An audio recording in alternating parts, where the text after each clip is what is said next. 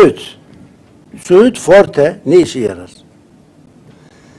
Söğütün kabuğundan ekstraksiyonla, destilasyonla elde edilen bu söğütün kabuğu, şu gördüğünüz söğütün kabuğundan destilasyonla elde edilen, damıtılarak elde edilen ekstraktı omuz, sırt, bel, kalça, diz ağrılarına karşı, romatizmaya karşı, kemik, kemikler arasında, eklemler arasında kireçlenmeye karşı dünyada en etkili bitkilerden biridir.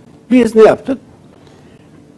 Söğüt ekstraktı, söğüt kabuğu ekstraktı, at kuyruğu otu ekstraktı, altın başak otu ekstraktı, şeytan pençesi kökü ekstraktı gibi 19 çeşit bitkinin ekstraktından çok özel bir formül geliştirdik.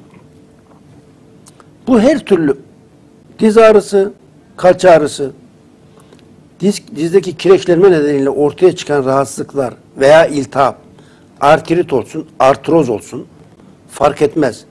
Diz ağrısı, kalça ağrısı, bel ağrısı, omuz ağrısına kadar ka- karşı mükemmel.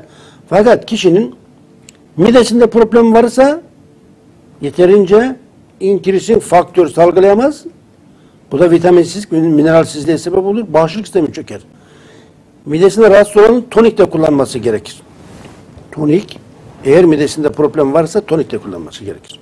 Söğüt forte ile birlikte. Şayet bağırsaklarında mantar varsa bağırsaklarındaki mantarı yok etmek gerekir. Bunun için de ne kullanmak gerekir? Aloe vera. Yani şimdi vatandaş diyor ki ya benim işte dizim ağrıyor, kalçam ağrıyor, belim ağrıyor. Yani midesindeki bağırsaklarındaki problemi ortadan kaldırmadığın zaman kesin çözüm olmaz. Yani iyileşmez.